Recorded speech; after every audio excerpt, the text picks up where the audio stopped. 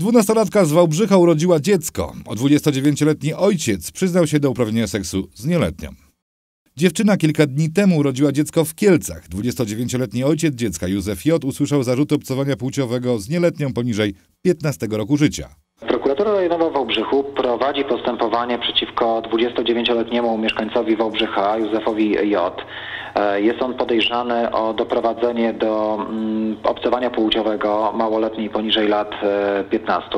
Na chwilę obecną e, osoba ta usłyszała zarzuty, e, została przesłuchana w charakterze podejrzanego, e, a w toku czynności przyznała się do popełnienia zarzuconego jej przestępstwa. Na chwilę obecną nie mamy wiedzy, gdzie dokładnie przebywa dwunastolatka. W zakresie posiadanych przez nas informacji wynika, e, że e, ostatnim miejscem jej pobytu była placówka opiekuńczo-wychowawcza w Opotowie. Prokuratura nie ujawnia też, jakie były relacje między poszkodowaną a podejrzanym.